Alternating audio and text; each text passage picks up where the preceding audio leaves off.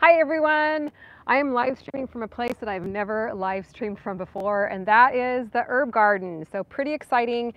It's a little bit of an interesting setup here because I am on the hill and I've got umbrellas over me. I've got to make sure that my tripod doesn't fall. Um, my computer's over here, so hopefully I can see the chat okay. In fact, not seeing it right now. Okay, here we go. So bear with me while I get my uh, all my settings straight here.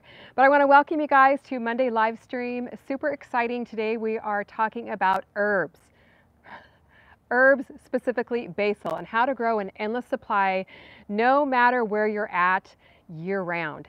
So this is going to be a fun one. Basil is one of my very favorite herbs to grow and I always have a lot of it here in my garden. I don't think you can ever have too much basil. So let me know if you agree with that here. And I am trying to get the chat here on my iPad and it's not showing up. Here we go. Just so I can see you guys. Okay, so welcome you guys. Happy Monday again. It is 95 degrees out here today and I just might start, you know, dripping sweat here pretty soon, so bear with me. Make sure that you stay safe. I know there's lots of crazy weather going around all over the country. There's heat, there's rain, there's drought, and there's a ton of fires up there in the Pacific Northwest. Northwest. So stay safe. Um, of course, you want to do what you can to protect your garden, but you especially want to do what you can to protect yourself and your family and your pets. That's the most important thing. So stay safe, stay hydrated, stay cool, and don't ever risk anything really, really important for your garden, okay?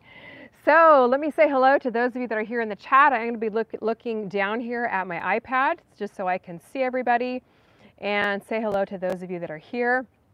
Nisha, one of our moderators, is not able to be here today, but she does say hello.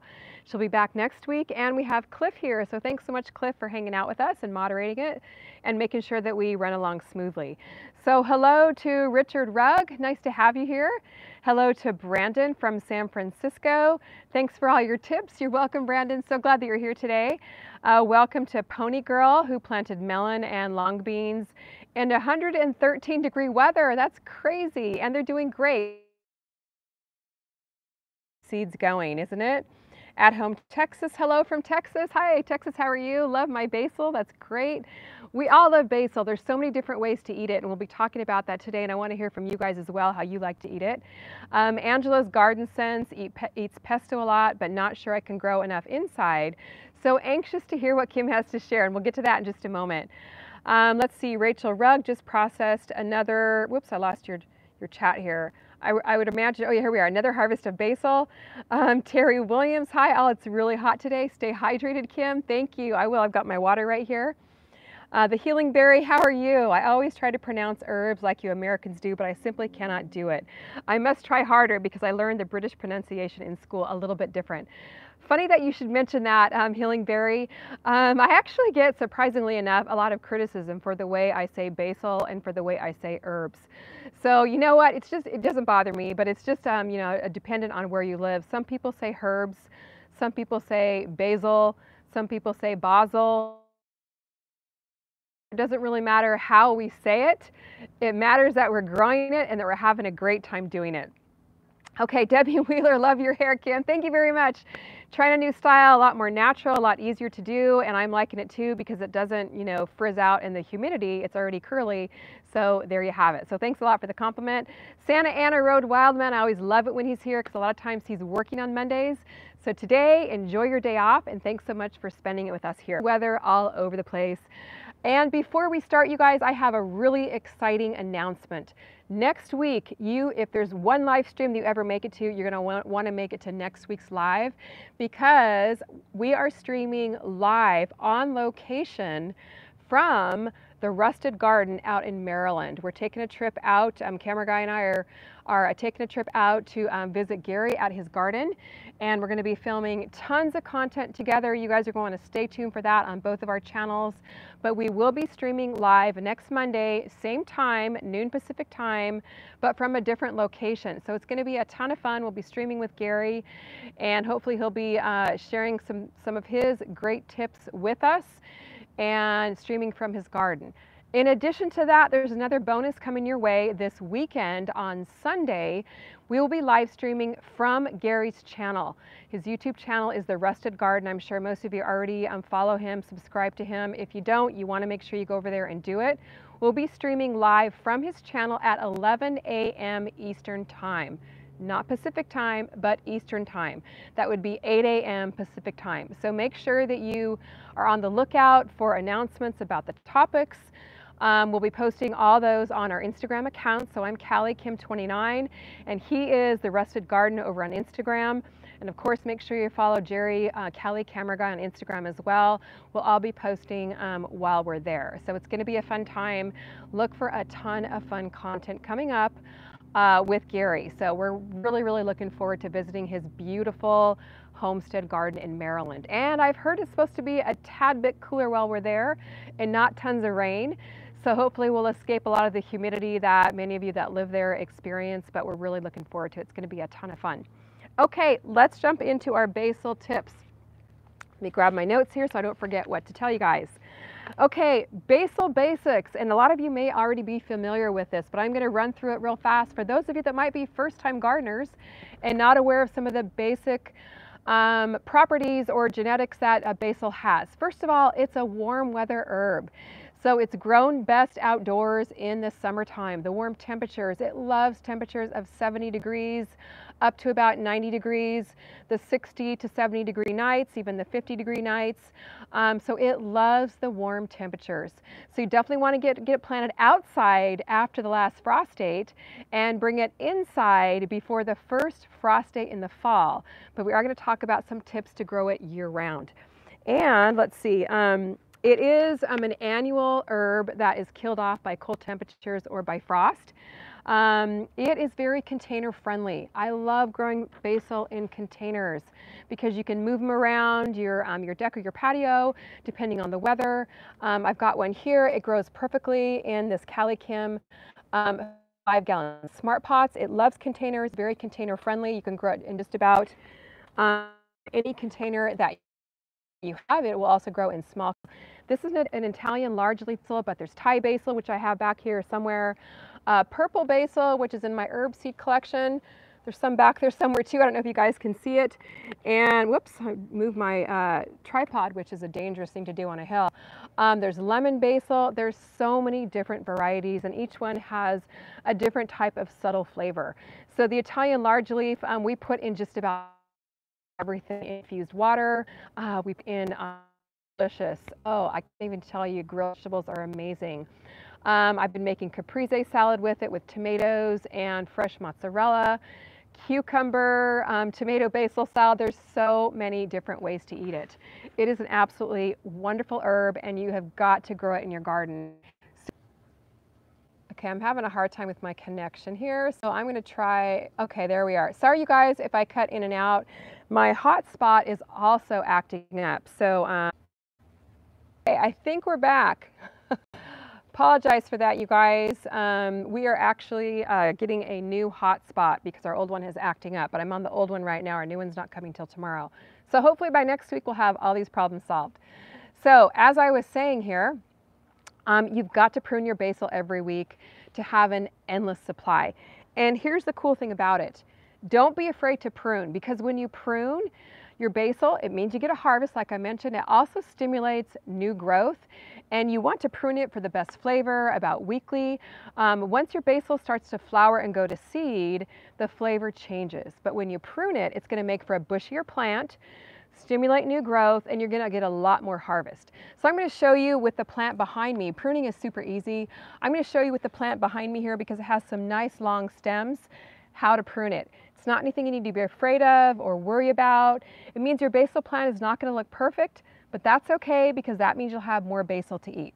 So what you want to do is just clip below the first kind of node of flowers here. So I'm just going to chop them off here with my little pruners. reach back here. And what that does, I'm going to cut a couple more, is that leaves some stems back here and basil leaves grow in pairs. So what that does is encourages new growth. your basil stem here is gonna branch out and grow brand new basil leaves from the spot where you clipped. So that way, instead of a tall and lanky plant that might um, flower and go to seed very quickly or might possibly fall over, you're gonna have a nice bushy plant with lots of growth. So that is the fabulous thing about basil. The more you prune it, the more it grows. And a lot of herbs are like that, are, are like that. So you can do that to most of your herbs.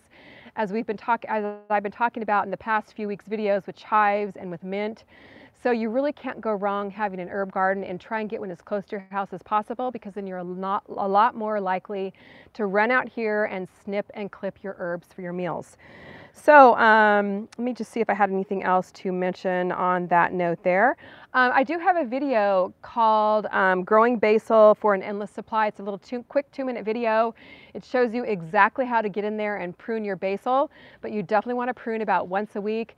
And even if you're not going to eat all that fresh basil, um, you can freeze it, you can make pesto out of it, freeze it in ice cube trays. And we're going to talk just a moment about what you can do with these little basil cuttings. So first tip for an endless supply is to prune your basil once a week. So that's your homework this week. If you haven't done that for a while, I want you to get out there and prune your basil. So let me see, make sure I've got the live stream here, live stream chat on my iPad because my phone is dimming and I'm not sure if I can see the chat from there. So let's head into the chat, answer your questions, and I want to hear how you like to eat basil as well. Okay, so I know it is a bad connection. Go ahead and refresh your video. I am going to try and scroll to the bottom of the chat here. Hopefully um, you guys can see me and hear me by now. I am seeing some people in the chat. And Charlene is saying, do you grow the basil from seed or from cuttings? Um, I do it both actually, and we're going to talk about cuttings in just a moment. So hold on to that question there if you can. I'm actually going to grab my computer because my iPad I don't think is refreshing the way it should. So bear with me just a moment. My computer is over here. All these devices going on right now with our connection issues. Okay, hang on a second guys while I log in. Okay, I think we're good here on my computer. Let me refresh.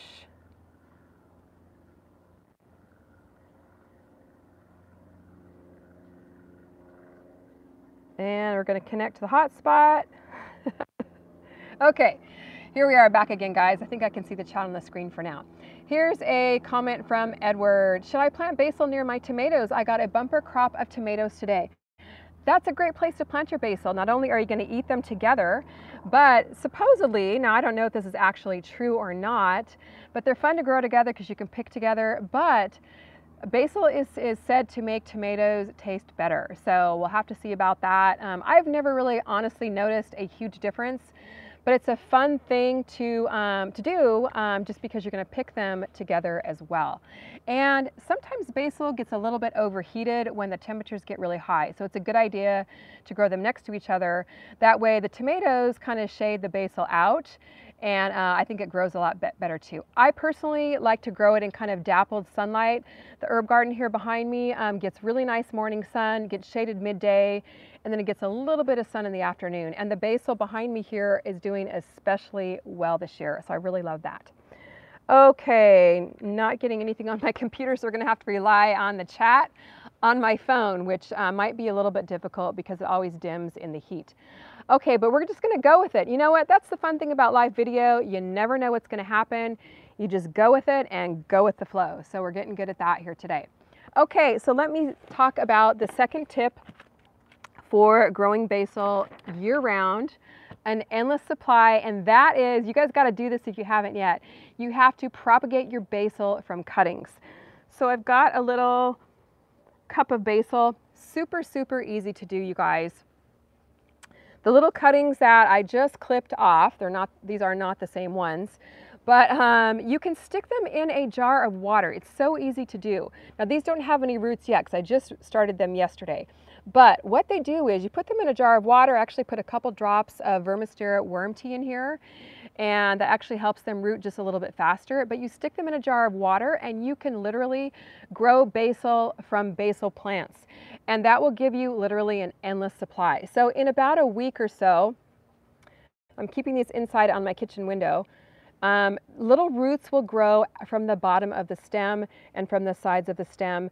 And then once you've got a good little um, root ball there, what you can do is plant them either outside or inside.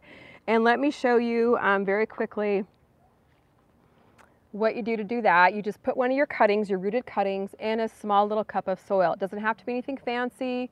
And I would highly recommend you keep this indoors for a while or in a spot in your garden where it's out of direct sunlight. Because if you pop it in direct sunlight right away, um, it's going to be too much for the plant and it's most likely going to die. So you put your rooted cutting in a little pot of soil like this, put it on your kitchen countertop, in your windowsill out of direct sunlight. In about a week or so, it's going to get established. Um, when you feel a little bit of a tug on the pot, that means the roots are getting established in the pot, and then you can go ahead and start your hardening off process, and then you can plant it outdoors in your garden. Or what I like to do is um, during the winter time when it's too cold to grow basil outside, I always like to have some basil on my countertop. So what you can do then is pop your basil um, in one of the little one gallon CaliKim Smart Pots if you have those. You can leave it in a jar and clip, um, clip it your uh, basil for your meals out of your jar your, rooted basil. But basil grows beautifully on a countertop. It doesn't even need a lot of direct sunlight. I grew a pot like this on my countertop almost all winter last year. Gets a little bit of sunlight each day, but really mostly indirect sunlight. So that's one way that you can grow basil in endless supply year round, no matter what climate you live in. Now in the summertime, get your little basil cuttings rooted in water while you still have plenty in the garden and then get them planted and established before the cold weather hits. And you're gonna be a smart gardener because you're gonna have a lot of basil all year round, an indoor garden. You can grow them under herb lights, uh, herb lights. You can, put, you can grow them under grow lights if you want to, or you can just put them in a windowsill. They don't even need a lot of direct sunlight. So it's a great way to have an endless supply. Now, one thing that if you guys saw the weekend video, um, on growing a late summer garden is now is a great time to start more basil seeds. So these were started about two weeks ago on the 29th of June. You can see the little date right here. About three weeks ago now, and these ones were actually growing inside under grow lights, but I started some outdoors in little six packs too, so you can watch the weekend video on how to, on what to plant in July and know it's not too late and kind of see the comparison to how they grew inside under grow lights versus how they grew outside. So you can grow them from seed, grow them from cuttings, grow them indoors under grow lights, in a windowsill. There's so many different ways to grow basil. So there's no reason not to have an endless supply growing no matter what climate you live in all year round. So if you, if you missed that video, you definitely want to go back and watch it. Okay, so let's jump back into the chat here. Oh, and before I forget to, um, I am running a sale. Today is the very last day. It's a really good one, you guys. It's 20% off, which I don't often run 20% off sales. With the code late summer over at calikimgardenandhome.com. And you'll definitely want to uh, grab the late summer garden seed collection, which also has basil in it, and all those quick growing vegetables for late summer harvest. Everything in here goes from seed to harvest in about six to eight weeks or so, depending on you know the, the weather conditions and all that. But um, you definitely want to get a new wave of veggies growing so that when some of your vegetables start dying out due to heat, due to pests, you're going to have new vegetables ready to take its place. And all the details are in our weekend video. So grab this for 20% off today over at calikimgardenhome.com. Okay, let me jump back in the chat here, whatever I can see on my screen. And we will try and run through a couple more questions before we talk about our last tip.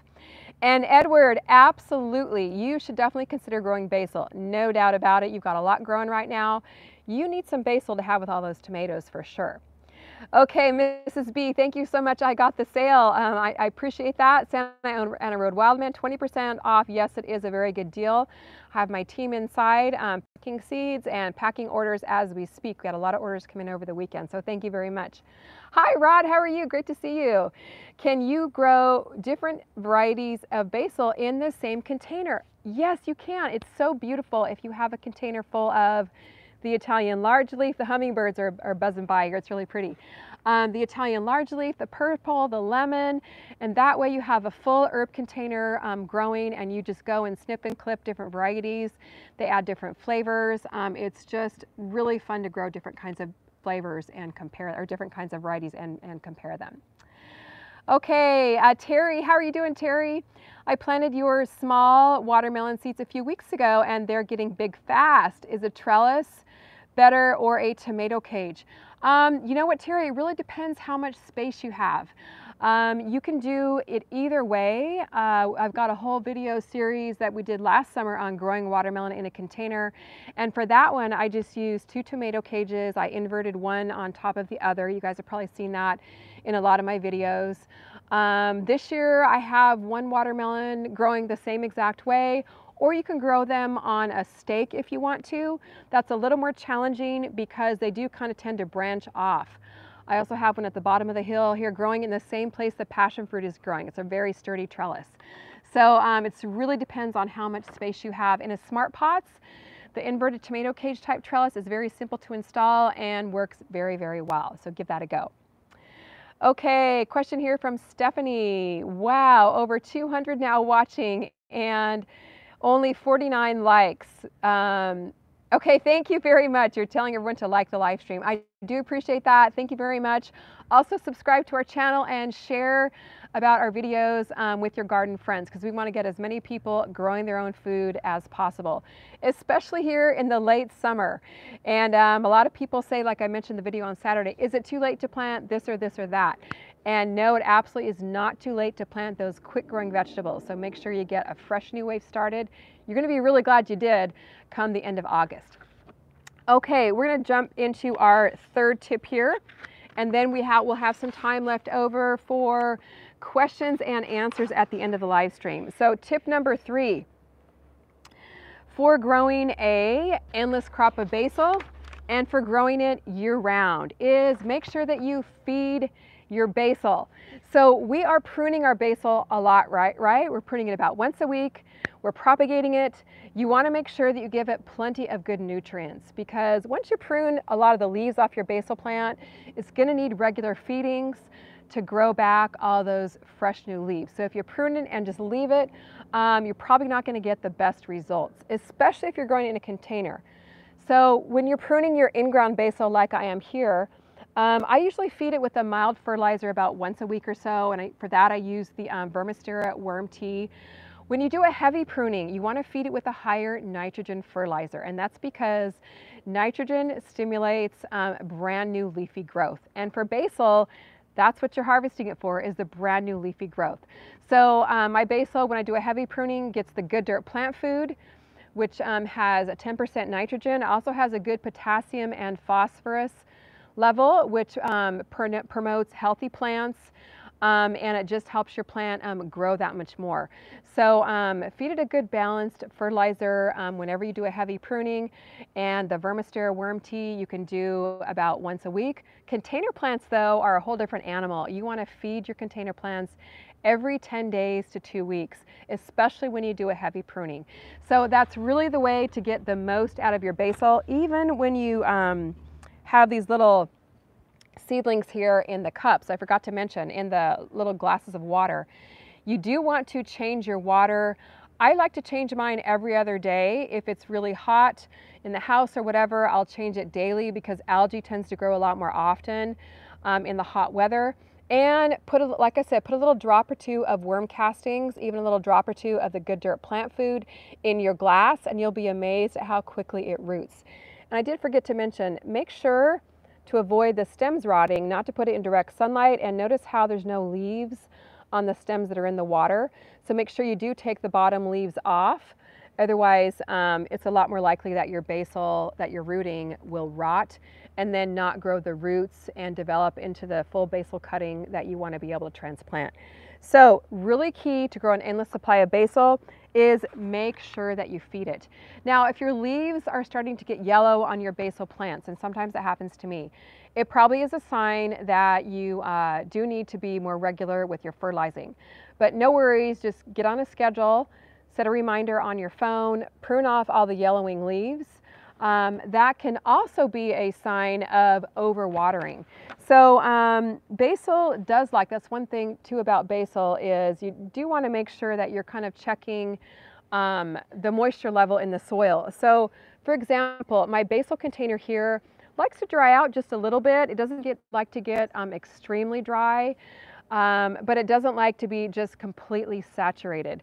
So what I'll do is uh, about once a week or so, I'll put my container here in a tub of water, give it a good soaking and then take it out. And during the week, as it starts to dry out, just kind of sprinkle a little bit of water over the at the base of the plant here so it's not super super saturated so you don't want to completely drown your basil plants in water they do like things to dry out just a little bit um, they're a little bit more drought tolerant than you know other herbs that like a ton of water.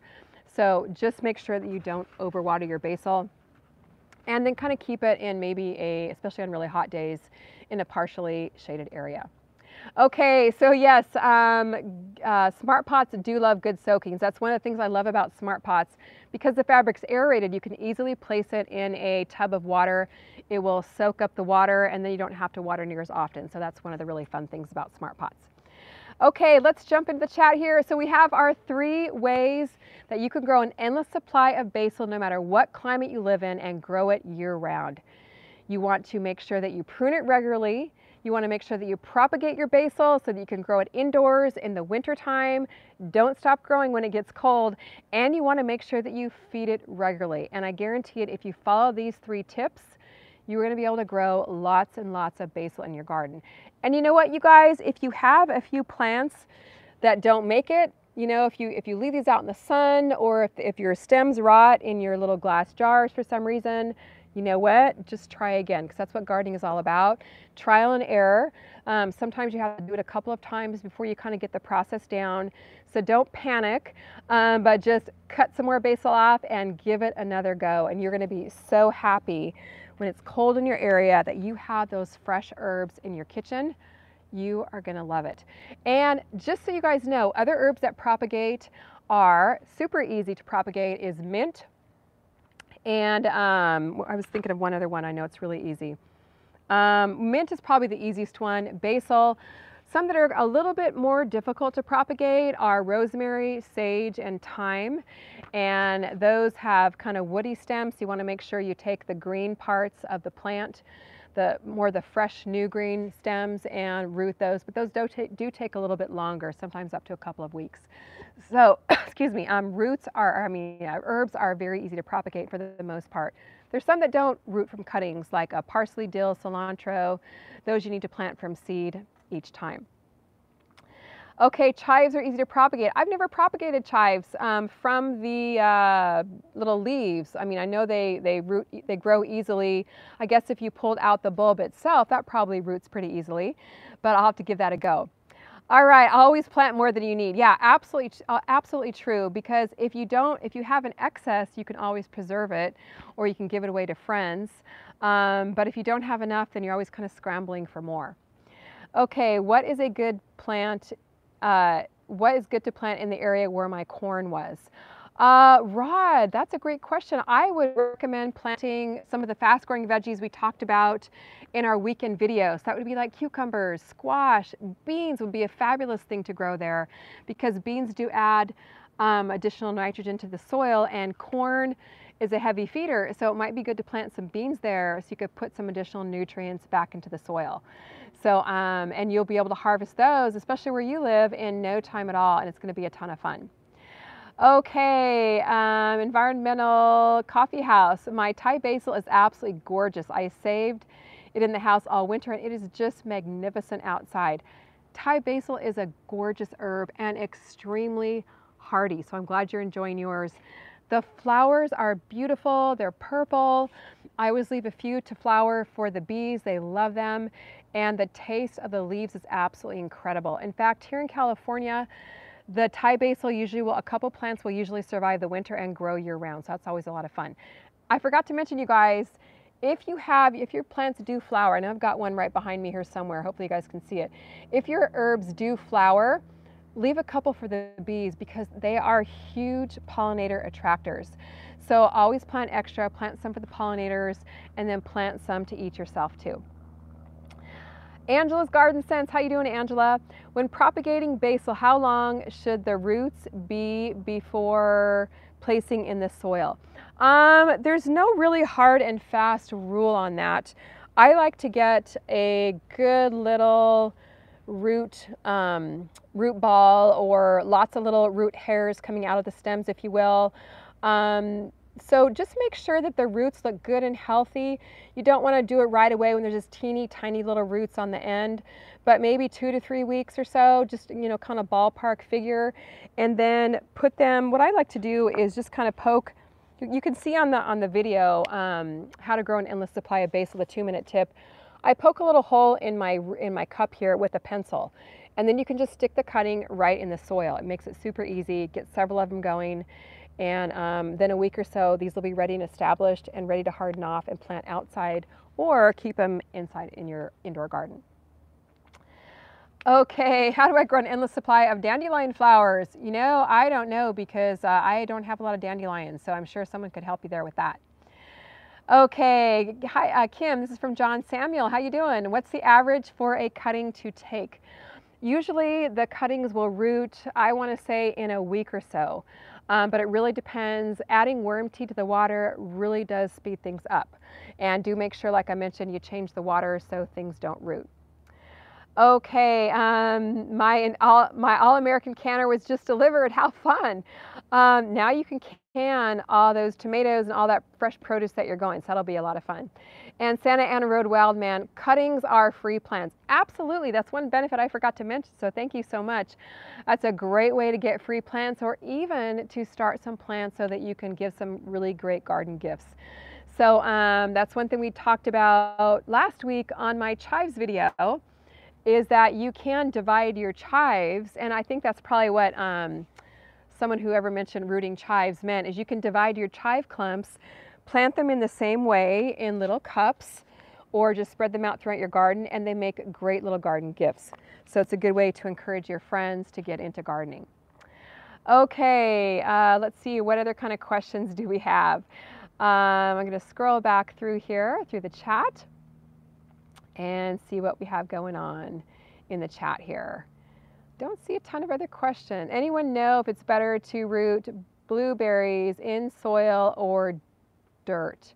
Um, I'm not sure. The kind of soil and dirt are generally speaking the same things. I I rooted blue, blueberries or blackberries specifically in pots. I rooted some like just from my blackberry patch that's growing. I pull over roots that are already kind of growing on the end of the the shoots that are growing out, I just put them in pots right next to the ones that are currently growing. I kind of hold them in there like with a little landscape staple. And then once they're established in the pot of soil, I will cut the root from the mother plant or the, I'm sorry, I'm not explaining it very well. I'll cut the shoot from the mother plant and then once it gets established in the pot, I can plant it in the ground. So there's a couple different ways you can do it. You can also just stick the root right in the soil and root it that way similar to how you would root uh, strawberry runners. Okay, water or dirt. Okay, I gotcha. I, I tend to root those in dirt, so I think that's a little bit easier. I'm sure there's lots of different don't be afraid to experiment, you guys, like I always say, and uh, see which way you like the best. Okay, any solutions? This is from Mel for potential pest issues for basil. Okay, great question. One pest that does like basil that I've had issues with, not this year, surprisingly enough, but in previous years, has been the cabbage looper. And I'm sure a lot of you have seen those. If you have unexpected holes in your leaves, most likely it's that little tiny green inchworm type thing that's rolling around in there and wreaking havoc. They can literally eat eat away at your plant overnight. So it could be a little bit of a shocker. Um, what you want to do, what I like to do is just spray it down with water to start off with and knock some of, it might be aphids as well, that can help knock the aphids off. The cabbage loopers, what I like to do is just kind of inspect under the leaves of the plant until I find them and then pick them off. If you see little black droppings on your plant, that's a sure sign of the cabbage looper. So pick off whatever you can. And then I've been using Captain Jack's Dead Bug Spray, Dead Bug Brew, I believe it's called, for a lot of pests this year, and the Bonide's Insecticidal Super Soap. That takes care of a lot of the garden pests. It's for organic gardening and it really does knock out the pests fast. So if you're having an issue with spider mites, cabbage loopers, or aphids specifically, I would definitely try one of those two products. So it's the Bonide products, the Captain Jack's Dead Bug Brew, or the insecticidal super soap. And the links for that are all in the video description. Most of them are available on Amazon, so you can usually get them pretty fast if you have issues. Okay, question from Terry. This is a great question, Terry. I planted my strawberry runners in a tower, tower garden, but I'm not getting any berries on them. How long does this usually take? It really varies, Terry, because berries do come in different types. So if you can find out the type of berry that your variety is, um, some types only grow in the like early summer. Those are the June bearing. Uh, then they only will put out one crop a year. Some types of berries, the uh, ever bearing, grow a couple of crops a year. When in the early summer, they take a break, recharge a little bit, and then grow in the later summer once they have time to, you know, get some new energy back into the plants.